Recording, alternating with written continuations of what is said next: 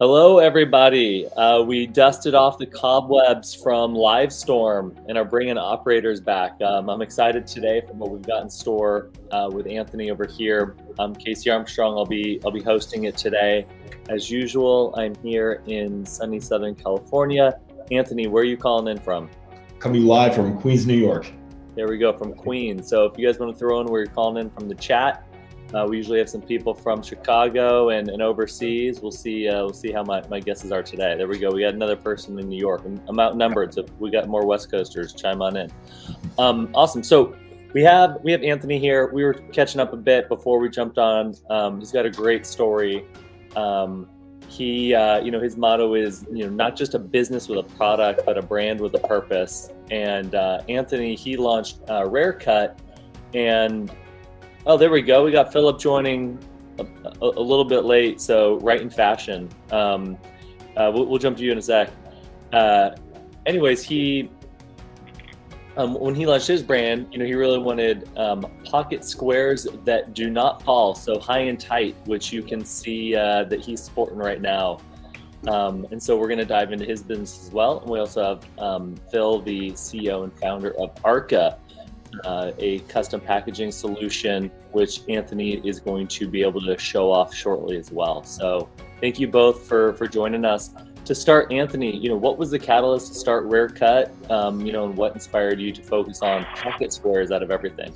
Yeah, so never in a million years did I think I'd end up in the fashion space. Uh, if you'd asked like maybe some ex-girlfriends of mine years ago, they'd be like, this guy's a fashionista now. This guy was wearing the same three sweatshirts all winter and rotating them. Never in a million years did I think I'd end up in this space. But uh, basically what happened was, Casey, is I saw a problem repeated over and over again and finally just kind of clicked in my mind of like, hey, this this is an issue. And what that what that issue that I noticed was is whether you're a groomsman or you were going to work, whatever the case may be, no guy that I came across knew how to fold these things, let alone get them to retain their shape. And every time they seemingly put them in their pocket, they would fall. So I'd had conversations with people. I said, hey, like, you know, this fell. Let me help you out.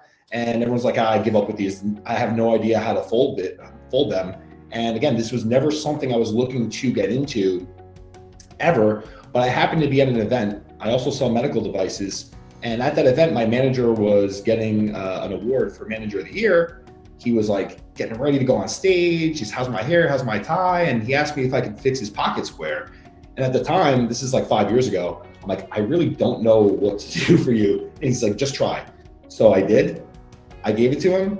He put it in his pocket. He gave the speech, standing ovation, but we got the pictures back from that event from his speech and that pocket square was not in one picture. It wasn't, it, it basically fell immediately and it wasn't seen. So my rationale was, you know, why wear it if it can't be seen? So that's really what sparked the idea and just kind of was the first step or the catalyst, as you said, to going in this direction. I mean, I was going to ask too. You talked a bit about your your prior career. So you were in um, medical device sales. Yes, I still am actually. I still I still juggle both. So um, yeah, so, so, basically one helps really fund uh, rare cut just to kind of do the two for as long as I can.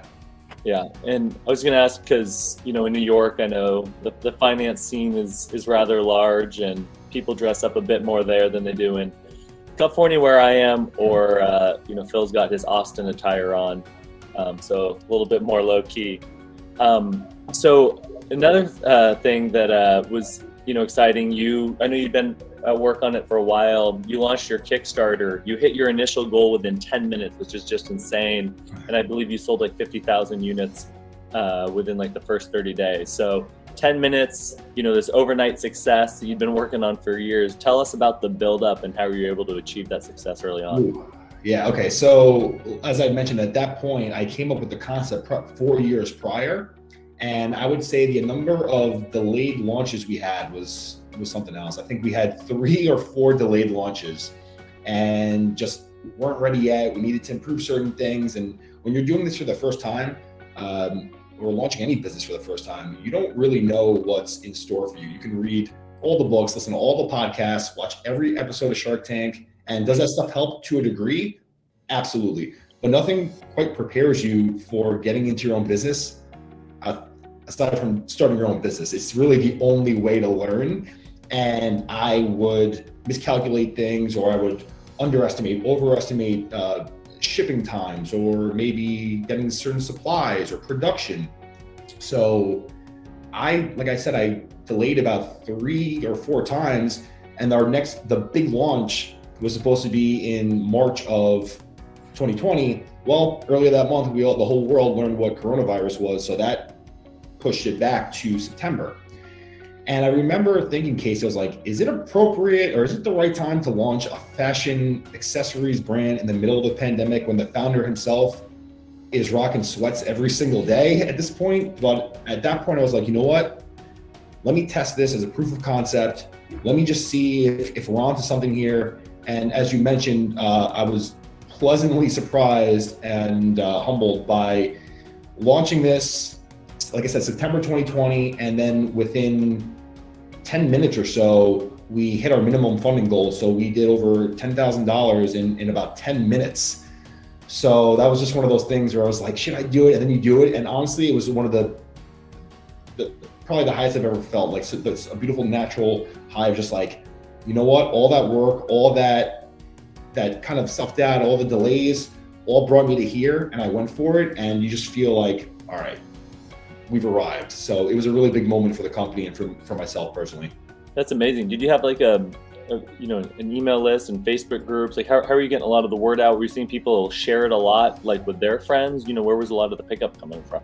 Yeah, that's a great question. So basically, for four years, ever since I came up with the concept in my mind, before I had anything tangible, I would just ask people their opinion, like, "Hey, do you think this is a cool name?" Or "What do you, you know, what do you feel? What do you think about this prototype?"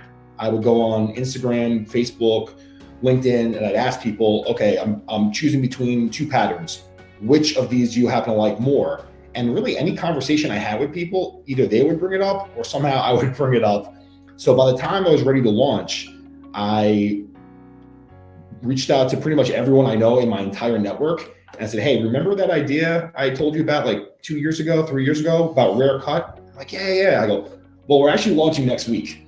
And I go, is it cool if I like send you a calendar invite? Um, and if you know if you're open to supporting it, um, it's going to be at this time.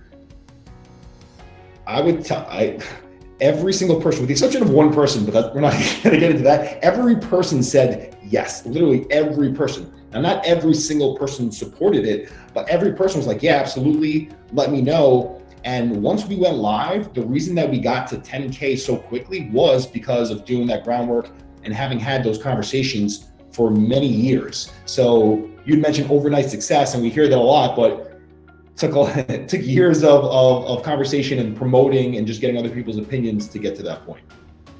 In for as much as you can share, because I know you have your like you know your proprietary blend or te- technology.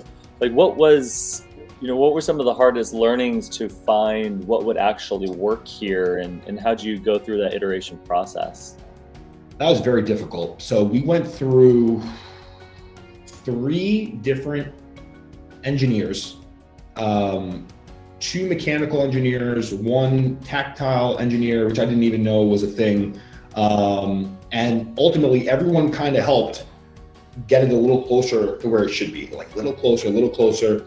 Um, and when you first get something, like when you're trying to invent something that doesn't exist, and there's a patent pending on this right now, uh, the first version of anything, you're like, whoa, this is incredible.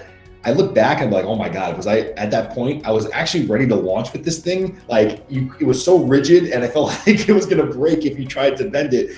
But there's a quote that says, "If you're not embarrassed by the first version of your product, you've launched too late. And I kind of always kept that in mind. Now, I never wanted to launch anything I would be embarrassed of, like, well, I shouldn't say embarrassed is the quote, but like ashamed of rather. But I knew that as time went on, I would gradually improve it. So I, at some point, I was like, you know what? Let's go. Let's test the proof of concept. Maybe there's no need for this, but you never know unless you put it out there. So the person that actually helped me really kind of figure it out was not an engineer at all he worked in the fashion district in New York City, and he's like, eh, this could be a little softer. This this material could be a little bit better. And ultimately, what we stumbled upon, and, and a lot of it was sheer luck, to be honest with you, uh, was something that we're very happy with. And just to show you how it kind of works, is we have a memory metal in here. So no matter how you bend twist or fold it, it retains its shape. And when you put it in your pocket, and as our tagline is, it stays up. So as promised, you shape it any way you want, and when you put it in your pocket, it stays there. You don't have to worry about it falling or you know coming undone. So just one of those things that it just makes something that's currently existing, and we just improved it. And that that was kind of the goal the whole time. And now we don't want to just have, like I mentioned earlier, I don't want to just have a product company with a product. That doesn't quite interest me. I want to be a brand uh, with a purpose, and that's the direction that we're evolving and gravitating towards.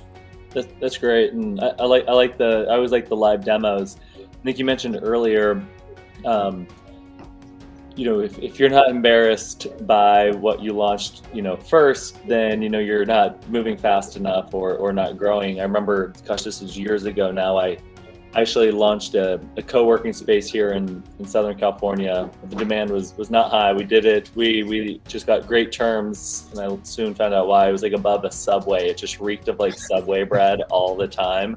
Wow. Um, people needed like a place to work, and we built kind of a cool environment before I just leased it all out to one company. But looking back and like the paint we used and just it it reeked. It suboptimal best. I know with ShipBob um, you know, the, the, early days, like, you know, the founders would literally wear like a, to go with the term ship, like a sailor's cap and actually go to people's houses and like actually pick up their stuff and then like go drive it out. And so you just think from from that idea wearing a sailor's hat, actually going to customers' houses to you know almost 30 fulfillment centers around the globe, it it can change quickly. Phil, any early horror stories you want to share with us into the evolution that is now Arka?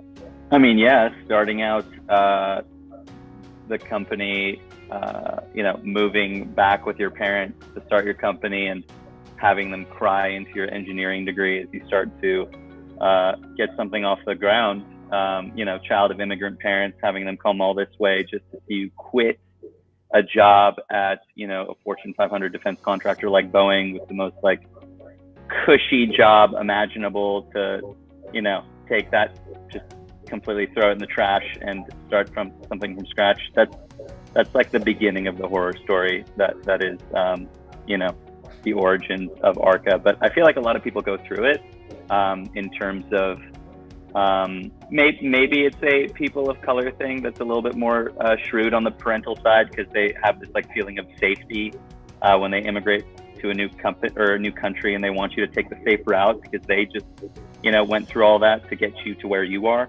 Um, and it's almost like a disrespectful thing to do to just completely throw that to the wayside until you um, until you get to a place where you can show that hey you can stand on your own two feet. This is actually a pretty great idea.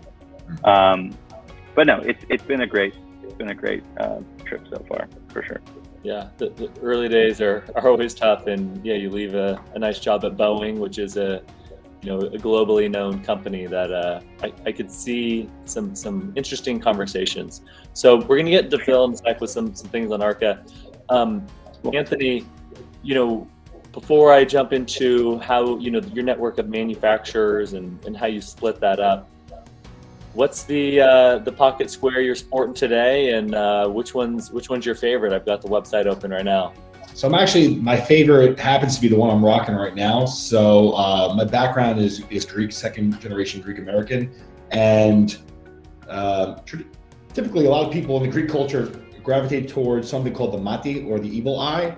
So being that, especially in the beginning, you have to know you have to find your first 1,000 true fans, right? That they say is the foundation of starting any successful business is speaking to your audience and kind of knowing you know, who are the people that are watching? Who are the people that are supporting you? Well, in my case, being that we're a startup and we're, you know, just about one year old, really, um, a lot of my customers happen to be people that from the community, people that I know, friends of friends, and a lot of them are Greek. So I got asked, do you have any Greek theme patterns a year ago? And we didn't. So I was like, wow. let me get moving on that. And this has become our most popular pattern. It's uh, it's the evil eye pattern. So I actually had um, an artist that I know put this together, and it matches just about anything. So that's that's kind of my go-to, is my favorite. And one thing I'll say is, um, you know, if you're especially uh, if you're going out and just making small talk conversation, it's just one of those things which I like about pocket squares. It's just like if maybe there's nothing to say in the conversation or it's a good conversation starter, like, oh, is that the evil eye? And it's especially as a single guy, which I am right now, it's a very good conversation starter and just kind of like is, is a great icebreaker as well. So do you have the Athens key? I'm sorry? Do you have the Athens key pattern for any of them? Ooh, no, but I'm actually I have a little notepad and I'm about to write that down. I like that. that well. would be beautiful. No, I like that also, man. Thank you. Yep. Philip wants his cut though on each sale. So there you go. no, I want him to just continue succeeding because he'll just get boxes from us. His success is our exactly. success. Exactly. No cut, just keep going. I like that. There we go. So um, you you you work with so perfect segue. You work with you know uh, I believe local artists maybe to to source some of the design. How do you go about that route? And then also um, I believe you use our network of manufacturers versus a single source. If you can just share a little bit there and, and how you kind of juggle between, you know, the, from quality, reliability, and um, you know, spreading out some of the risks of the business. Sure. So um, yeah, first and foremost, uh, as I mentioned earlier, is I didn't want to. I never got into this just to have a, a product and just a company that I can just stick with my medical device job and have that have those buckets filled um, and have free time if that's really what I was after. But that's not the end goal. The end goal is to have, like I mentioned, a brand with a purpose. So one thing that I did was during uh, really the peak of the pandemic, right after we launched, I unfortunately, especially in New York City, I know this is true for many cities around the world, uh, but I was seeing a lot of friends who had businesses, family-owned businesses and they were shutting down after 30 years, 40 years of being open. And it really was like, it was heartbreaking to watch that. And I wanted to get involved. I wanted to help to some degree.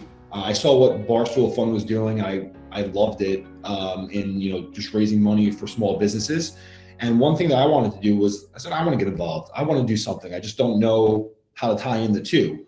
But I think that's kind of the magic of being a startup and having your own company is you make the rules. You can do whatever you like. And I was like, you know what? We're going to tie this in somehow. So what I did was is I actually created a shop local pattern. So we took that classic New York City cup, we put shop local in the middle, and at the top we put the, um, the torch from the Statue of Liberty. So I'll just show it to you here. And what I did was I featured local business owners.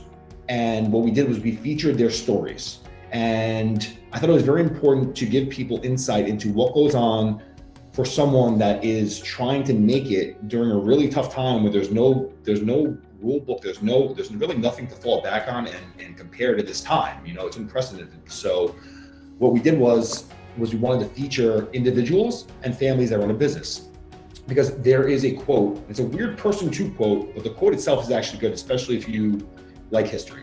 So the quote is the death of one person is a tragedy, but the death of a million people is, is, is a statistic. And again, it's from Stalin, not a good dude, but the quote actually has a lot of truth to it in that when we hear so many people are losing their jobs, we almost become numb to it. It's like, oh, X amount of thousand businesses closed in New York City. Oh, what do you know? It's just a number. But when you see that person that every day is busting their butt, going to work, trying to keep their doors open, now all of a sudden we're invested, we care. That's what I wanted to do was show the people, the individuals that are out there busting their butts, trying to, you know, raise money for their family, trying to keep their business open. So we did that and we donated a portion of the proceeds to the Barstool Fund. And we also made shirts as well.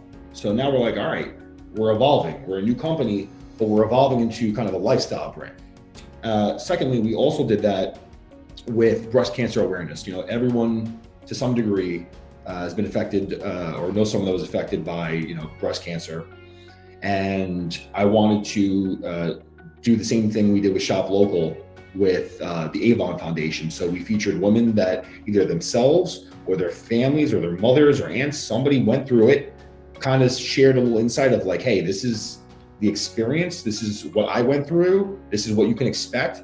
And I would say, if anything we've done in the past year, um, we had so many nice messages from people being like, "Hey, I'm getting my first mammogram because I've seen all these posts and I never thought like a girl that's 27, 28 years old can get breast cancer. So I'm telling my sisters to we're all getting mammograms together and things like that. And that's when you actually feel like you're do you're you're giving you're serving a higher purpose. You're not just this faceless company that just hey take this product. That's again that's not my intention. So we did our own thing, and what we did was we put a spin on the ribbon. So it's actually in the packaging here, but um, we basically have two hands that are holding one another. So the women that go through it and their families, friends that help them up during this journey.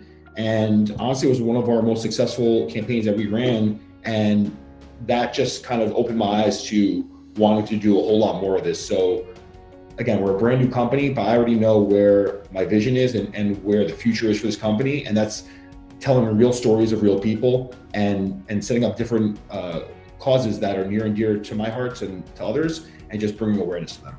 That's amazing. And I mean, COVID was so tough on so many, but you know, the, the levels of innovation and creativity that came with it, along with just community and people like yourselves looking to support others, you know, I think escalated more than you know we've we've seen in, in a very long time. So I really appreciate that story. And you showed off some of your packaging. I believe you got um, you, you, got a few other items to to show off um, that you know Philip and the Arka team have helped support you with. So if you want to show those off, and then I've got a couple questions, uh, Philip.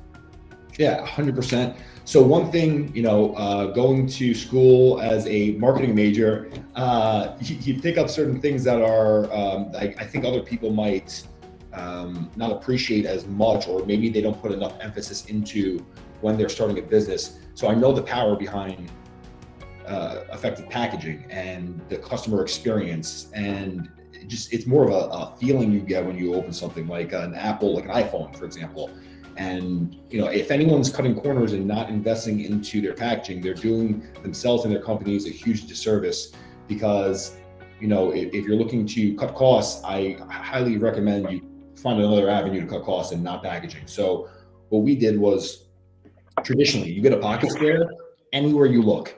This is the presentation of the pocket square. It's this. There's nothing. There's no packaging. There's no boxing. There's nothing. They're loose. They're just hanging up. Some people just have them hanging up in, in like this little circle and you, you snatch it off the rack. And for me, I wanted, you know, I put a lot of time and thought into this. So I, I wanted two things. I wanted it to be giftable. So when somebody receives this, it's a gift. You don't have to go to these means of being like, all right, you know, what, how do I not package this? That was one. And the second is, and I'm not sure if this is a word, but you'll know what I mean. I wanted it to be Instagrammable. So when people see it, they're like, whoa, this is really cool. I want this to be, I, I would take pride in posting this. Uh, and that's honestly how we gain a lot of business is just by having this packaging, right? So we actually, I'll do a little 360, but nice and clean. And again, there's nothing, there's no other product like this um, that's has even remotely close to this this packaging. And when you get it, it's a gift. So you take it out with some more writing on the back, some tips and perils. And again, we wanted that to be really, really special. And we get such incredible feedback from the packaging. It's especially coming up with the holidays. It's a great stocking stuffer. It's a great add-on gift, or it could be the, the main feature. Um, so I have this, what I think to be incredible package for the product itself. The last thing in the world I wanted to do now was skimp out on the the packaging it would be delivered in because I didn't want to just be another brown box from Amazon that gets lost in the sea of boxes. I wanted to have packaging that when you get it, you get excited. You're like, oh, I want to open this. Like, oh, this is nice. So I was actually recommended by some other entrepreneurs. I, you know, keep. I, I really the best thing you can do is is network with your fellow entrepreneurs and just get ideas. Um, and the name that came kept coming up several times over was Arka. And I was just like, all right, I've heard enough. I've heard this so many times. They must be onto something. Let me give them a shout. And I did. And I got to say, they made what can be a very complicated, tedious process very, very simple. Um, I was very, very pleasantly surprised with how easy it was and how little I had to do. Um, and I even a couple times I'm like, hey, is, do you need anything more from me? And they're like, no, we're good. We got you. Like we're you're good. So they helped kind of uh, help come up with this concept, which I think is great. So again, I wanted it clean. I wanted it to be not too flashy, not too loud, but something just right in the middle. So we have our box here, right? uh, homage to where we're from, Queens, New York. And then when you open it, I wanted to, again, I wanted there to be pop when you actually opened up the pocket square gift. So it looks just like so. So we have our, our tagline here, it stays up, kind of incorporate a little humor.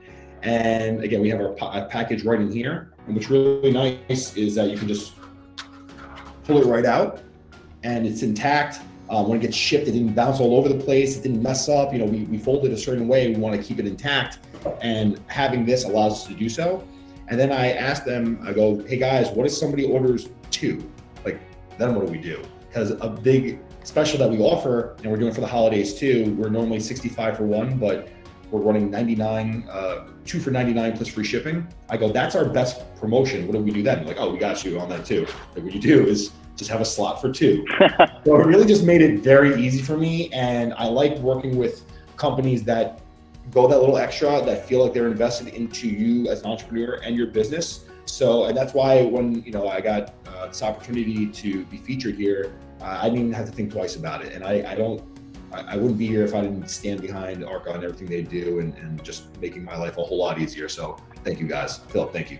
Thanks, Anthony. It's super nice of you to say and appreciate you showing it off. It looks that's that's a sexy box. Looks great. That's that's what we're going for. Thank you. Yeah, yeah. I, I, you said it. I mean, it's got that pop. It's got that that bright yellow when you open it, and um, we're gonna have to we're gonna have to cut that clip and send it over to the Arka team to um, just absolutely sh- share share everywhere. But yeah. it's, I mean, a couple items there. One is, you know, you're not the lowest priced option, and you don't want to be because you offer you know the best option out there. And I think so many people focus on, well, how do I trim money to you know so at the bottom you know my bottom line is actually in the black not the red where you're like okay well how do i actually increase the average order value um, by focusing on what's important? And that that is that unboxing experience. It's not just being another commodity product but it's this special experience. And you know there's no better example than than apple and you know what they've done. I mean how many people have saved their iphone or like mac cases for versus throwing it away the second you get it, you know, maybe for years afterwards, and then you're yeah. like, why am I still holding this thing? So exactly. Uh, like that, like you said, that's a gift you wanna you wanna ship out. You know, for the holiday seasons coming up, for for birthdays, for graduations and whatnot. People getting their first job. That's that's awesome. Uh, and and Phil, like if, if you know if you I think uh, Anthony explained Arka about as well as you could with visualization, but you know, how would you describe Arka to somebody that hadn't heard of it before, and, and what was the catalyst for you to start it? Sure. Um, plain and simple, you guys have done a great job putting it together uh, on my behalf. But plain and simple, Arka is a platform for businesses to design and order packaging online. Um, that's the part of the business that helps business owners and um, for companies like ShipBob. Actually, what we build is a uh, traceability and transparency integration so that 3PLs can see packages coming and going from production site to facility, but that's a completely different uh, part of the business uh, that doesn't relate to this as much, but does relate to you guys specifically. Um, that is ShipBob. Um, what's man? So catalyst for this is I was honestly um, in Anthony's shoes as a part of a team, not for my own company, um, but I was on the buyer's side either way. And there's so much phone calls, uh, emails, and I I shit you not, sometimes even faxes that go into getting your packaging, where it's a multi week process to get a quote, uh, sometimes even to get an answer. Um, the tech side of things in the packaging industry is fairly weak, and that's something that I recognized when I was at, you know, larger corporations like Boeing. Um, from there, I worked at smaller YC-backed startups like iCracked, who got acquired uh, by Allstate about a year, year and change ago. But um, point I'm trying to drive is whether I was at a huge company or at a smaller startup where you know I had my own department, so I could move as quickly as I wanted to. It was still a pain in the neck. It did not really.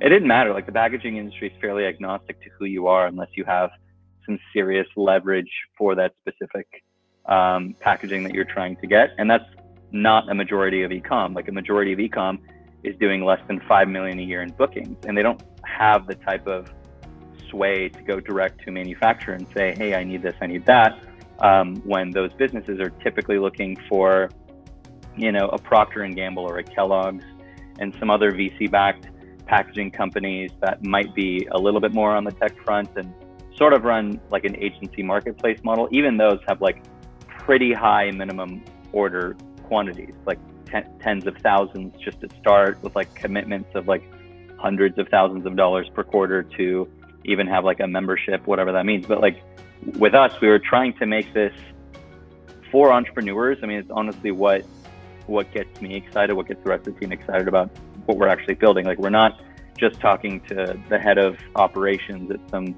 massive company. Like it's, it's other founders. Um, it's other entrepreneurs who want to either have like their side hustle or they're a solopreneur or a mamapreneur or they're just bringing in some extra cash doing whatever. Uh, during the pandemic, we saw such a huge influx.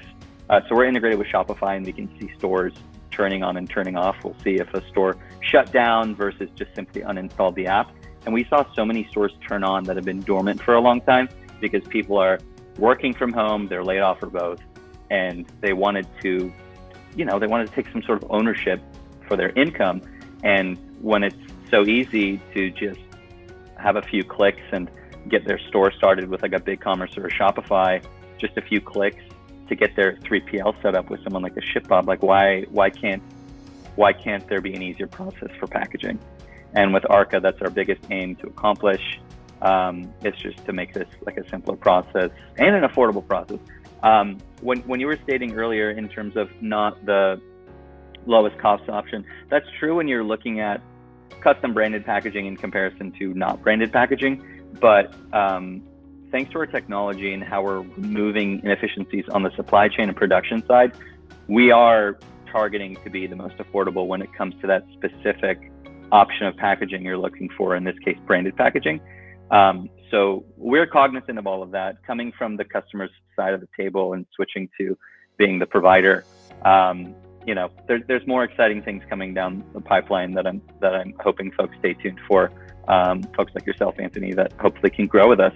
Um, and I was to referring to Anthony's products as not the lowest priced option, not not you guys. Oh, got it, got it, got it. Um, yes. Yeah, no, they're, they're, that's that's luxury right there. I mean, you can just yes. see from the packaging itself, and I think um, as you can see how Anthony is dressed compared to some of us, um, that's that's what they're going for, right? Um, and in that regard, I think that's totally um, that's totally sensible and uh, expected. I think when wanting to shop for something like, I mean, even even the concept of a pocket square is for those who are not, um, you know, being uh, non-formal. Like it's, it's it's a nice thing to have, and therefore there comes costs with that, but it's worth it when you have such a quality product that comes in such a quality package. I'm gonna say. So, a question, um, you know, uh, as we as we talk about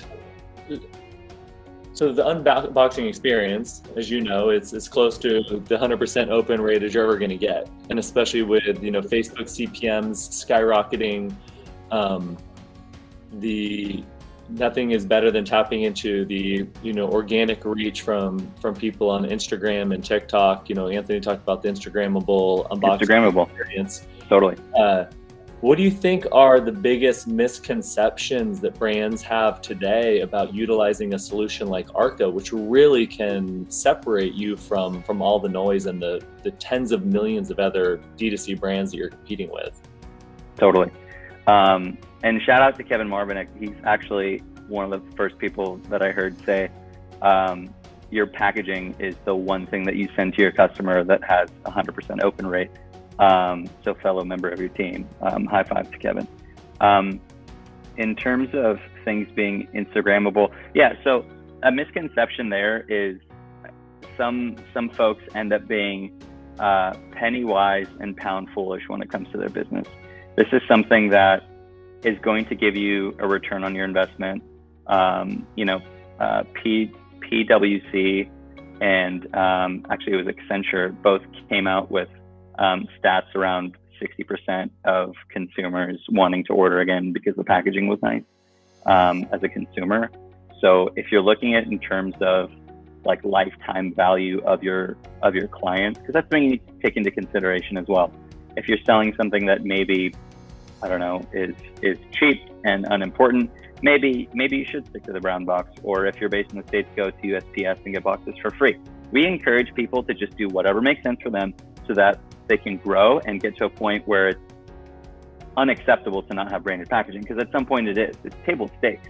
no one's going to be sharing the brown box it came in. Nobody.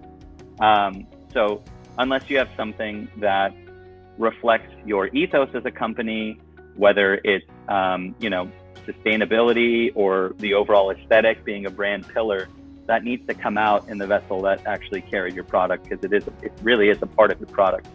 Um, so, uh, long story short, there is just um, not giving it a chance, and and I think um, you know. Um, uh, shameless plug, real quick. You can buy samples from us for like 20 bucks, fully branded. You can buy as few as 10 boxes, fully branded. Just try it out. Try it out for maybe some folks who you want to get their hands on your product, whether it's like if you if you have access to influencers in your network or just other friends that maybe are popular in social media, whatever the case, nobody nobody's out of reach to help help build your brand. So um, it, it's such a powerful tool to um, evangelize your company. Um, and in that regard, I say pilot it, try it out, um, experiment, and if it doesn't work, try again when you've got some extra cash in the coffers and do it again. Just iterate. Um, like we were talking about in the beginning of this discussion, uh, in terms of early releases of product being an embarrassment to what they are today. Yeah, that's the case with everything. That includes packaging too. Um, so don't think because you struck out on one segment of the product and packaging lifecycle that that's a that, that book on that is closed. You should be failing repeatedly to the top um, as you as you continue to iterate and build build out your product and ultimately your packaging as well. I like that as well. Just with your, you know, even picking a handful of, of influencers or maybe sure. early supporters in the space, it's essentially like a no cost experiment or yeah. thank you gift to, you know, come up with something custom and, and ship it off. And, you know, if you send out 20 items, the chances of one of them being shared in a social set, like, you know, on online uh, is is pretty high. And then, you know, these are just some like the no brainer, easy tests to to roll yeah. out and see what that lift is and go from there. So I've got a couple more questions before you know we we wrap it up on uh, on today. And it's you know we're what is it like? I went quick. What's up? I went by quickly. So we're we're a little over two weeks from uh, we're a little under two weeks over two weeks over two weeks from black friday i can do math um, anthony what's what's on the docket for black friday cyber monday you know how are you how are you looking to you know separate your brand from from everything else going on uh, for the holidays so what we want to do is instead of waiting till black friday is just start getting the word out now because yeah especially this year, right? Where yeah. I know so many businesses and uh, startups that you know their equipment is on a ship somewhere on the Pacific Ocean. Um, I'm fortunate to have uh, my product here. I ordered a bunch of it earlier in the year. I have our uh, basically everything we need. We have our we have our packaging, so we're in a good position to start getting the word out. So uh, what you have to do is is in a situation situation like this is find the leverage. And right now, we can offer things that a lot of companies cannot. So instead of waiting and pushing it down the road, um, we're actually telling people now, hey, we, you know, our our holiday special starts today. You know, the discounts start now, as opposed to waiting until really the time of where people are looking to shop earlier, especially with even USPS shipping, local shipping uh, being delayed. I think everything's delayed yeah, I think you're going to see a lot of people just shopping earlier before Thanksgiving as opposed to years past. So yeah, um, that that's that's the difference this year. Smart. And, and Philip, what about you? What are what are some things you're seeing out there across your you know you have a really large customer base. What are some of the interesting or innovative ways you see people preparing or, or already starting their Black Friday, Cyber Monday sales? We've been really pushing on people to start earlier because um, you know, uh, the, the paper industry right now is as volatile as it's ever been. Um, I mean, I can go on and on about the stats, but just long story short, there's been four paper increases in the past year, and typically there's like one paper increase every four years. Uh, and due to that, and it's all all because of like COVID and and the how huge e-com has become. Like last year's Black Friday, Cyber Monday was at 180 plus billion, and this year we're supposed to, and that was the biggest ever. And this year we're supposed, we're projected to to break 200 billion by the end of the year, which is just like a mo- that's that's a monster um, of a holiday season that we're going to be having. Um, but in terms of innovative things, um, sustainability is becoming more and more important to consumers, which we really like. And as a B2B to C company, um, we're seeing that on the B2B side and the B2C side. So it's just all the way down um, the, the purchasing chain of um, opinions that people have about what they want is becoming more and more eco-friendly. That's why we got our FSC certification. Excuse me. We're also working with, you know, trying to push more folks towards ShipBob that has carbon neutral uh, fulfillment, and we're creating our own carbon neutral checkout as well through our partners like EcoCart. Um, just just so people can say that's something that they do uh, solely on the fact that it, it drives consumer decision making more and more. I mean, it's at the and by lowest, I don't mean in terms of tier, I mean in terms of age. It's at the lowest tier of purchases. Like it's really millennial to Gen Z that's caring about this the most, and that that population base is going to continue growing. So, um, shout out to everyone who's already doing that. That's coming to Arka and they're cognizant of it and they're talking to us about it. And to anyone who hasn't gone in that uh, direction yet, um, unless you're, you know, that, that's not your cup of tea and you're you're totally against uh, having some sort of sustainability aspect uh, to your company, it would be wise to do so. Um, because if you don't, I bet you your competitor will, and then next thing you know, tomorrow, it also becomes table stakes. Where if you don't have some sort of component, you're not even going to be considered. Um, so that's that's something that we're we're glad to see. I mean, cool. Capitalism can make a lot of good and bad things happen. Uh, this is one of the good things that's that's uh, being driven in the right direction, which is um, just mindfulness on sustainability and eco-friendliness, and and we're always happy to chat about that when people come our way. Completely agree. I'm glad you called out some of those solutions as well. It, it's it's so easy now for brands to. It's really like this this little eco-friendly tech stack. You, as you mentioned, yeah. you know our uh, our fulfillment network is carbon neutral. We work with uh, Pachama for everything. Yep. Um, once it Diego. facilities, we've got Arka on the eco-friendly side for packaging. There's solutions like EcoCart at the checkout solution, and so it's yep. it's not it's it's actually really easy to to unlock yeah. that and tap into, like you said, what will be and for some brands already is, you know, the, the largest consumer base out there who's growing up really only knowing how to purchase online. So totally. uh, I have a question to to wrap this up that I always ask at the end. Philip, we'll start with you, and then Anthony will uh, you can bring us home. So um, you guys are both well positioned to answer this. What is uh, Philip? What's your number one piece of advice for entrepreneurs or maybe soon to be founders today? Um, great question. It it really ties back to this conversation, and I'm sorry if I'm stealing this from you, Anthony, but um, just getting it out there, whatever it may be, um, starting as, as soon as possible.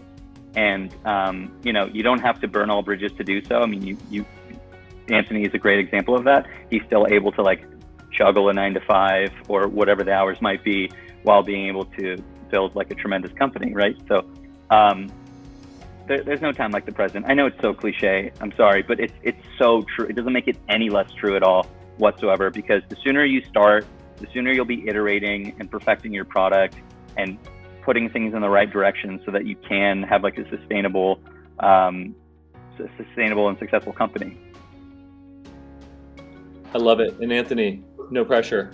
Yeah, no, it was a great answer. Um, I would say two, there's two things that come to mind. Uh, one is advice that I was told um, right before launching um, on Kickstarter, and that was be shameless when it comes to self-promoting your business. Because sometimes we're like, oh, am I saying it too much? Uh, am I wearing my rare hat, my rare cut hat too much? Which I pretty much wear when I'm not doing my hair. I wear it all the time. But you know what? Because I'm constantly wearing that, we, we seem to think like, oh, I said it once, everyone remembers. You have to. There has to be a certain amount of repetition before that even registers in someone's mind. That's one. And two, when they actually make a buying decision or ask you about it. So keep pressing. Don't, you know, there's not too much. And guess what? If it's too much for someone, then and they unfollow you, then you lost someone that probably wasn't going to be a customer anyways. Totally. You're kind of filtering through who's going to be a real fan of yours. That's one. And the second I would say is actually we hear a lot of this in you know big name entrepreneurs. Sometimes will say this, or maybe sometimes it'll it'll actually invoke like uh, a certain uh, response in the crowd when people hear it. And I say that because I heard someone say it once, and I asked him after the speech, and he went against what he said. Uh, basically, what he had said was, if you don't like what you're doing, quit today. And listen, is there truth in that? You don't want to be miserable. Life is short, yes. But if you are trying to start a business, it's very expensive. It's more expensive than I ever anticipated. Not um, just financially. Yeah, it, yeah, exactly. I, I, never could have foreseen all the hidden costs, and and and now costs are rising for just about everything. It's very expensive. So for as long as you can, if you are in a position to, if you could balance between the two, do that for as long as you can until you saved up enough money, until there's a proof of concept, until you have the product out there, and until you feel like you're in a good spot. Um, that would be my recommendation that I don't think we hear enough of, and I, I really feel strongly about that.